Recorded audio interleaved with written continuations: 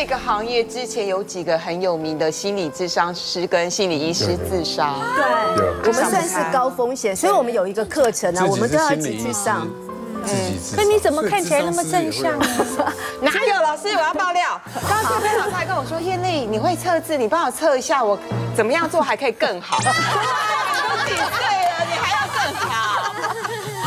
哦，他那种追求卓越了。太卓越了。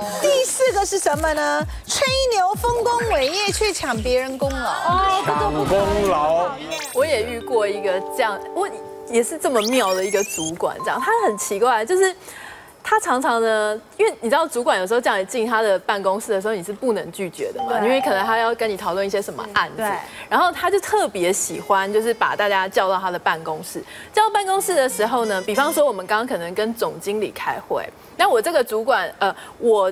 这个主管，然后这个主管中间还有一个主管才到总经理，然后我们就会被他这样叫进去之后，他就跟我讲说：“来，你刚刚在总经理，我们跟总经理开会的时候，你有没有注意到什么？”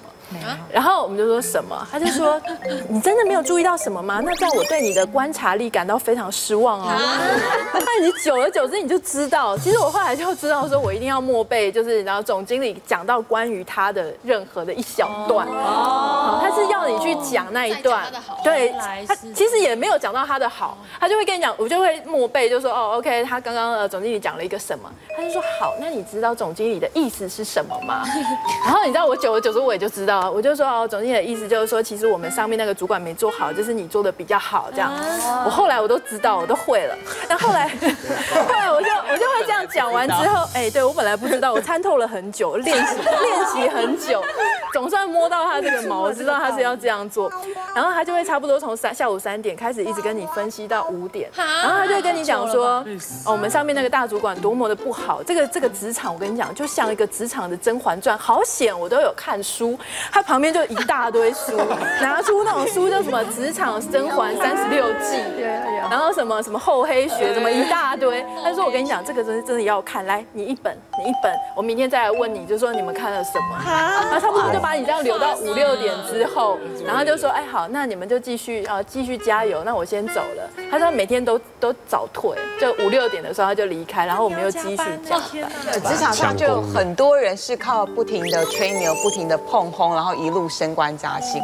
那最近就是有一些新媒体是说别因为没有找到获利的营运模式，那大部分的记者或大部分资深记者，我们都觉得很可惜啦，因为真的都很优秀。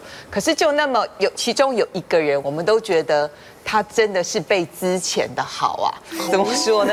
这个人真的是很恶劣啦，就是说，每次像呃，我是没有给他带过，就是同业的情况是，同业的稿子交了之后呢，那这个人他就会帮他加一两句话，然后就把这篇文章呢，同时把他自己的名字也冠上去，就是一篇文章挂两个人名字。对，这是干嘛呢？表示呢，他有功。对他有功，就表示他写了好多文章，表示他采访了好多好多好多对象，所以他的年底考绩就会比较好。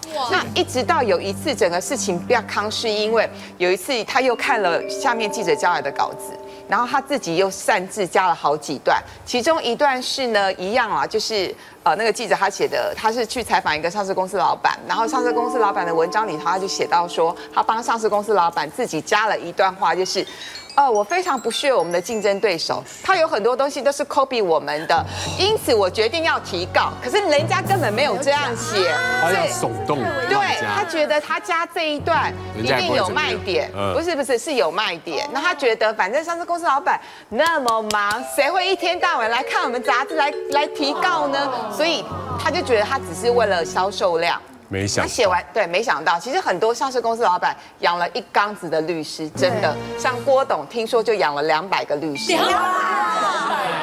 两百，那是当年的数字，现在更多了。好，反正文章就是登出来之后，受访者就说我没有这样讲过，而且这样等显示我很小气，而且我根本没有这样讲这个竞争对手。那当然就是所有的主管就很紧张啊，就跑去问这个记者说：“那你是这样写吗？”记者说：“不是，真的不是我写。”他就把档案叫出来看，证实了真的是他的主管家，因为他他的主管本来一直否认啊，就一直说这这这就是你写，可能会吃官司的。对。那反正后来他他的主管承认了，所以这件事情才表抗。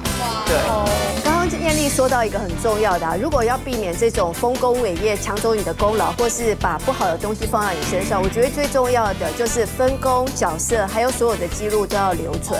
那另外一个直接沟通，直接跟最高你最重要的主管沟通，而不要透过他，那这样就可以避免功劳被抢走，也可以比较自保一点。嗯自保哦，对对不对？哈，要特别小心。祝大家工作愉快，谢谢四位来宾。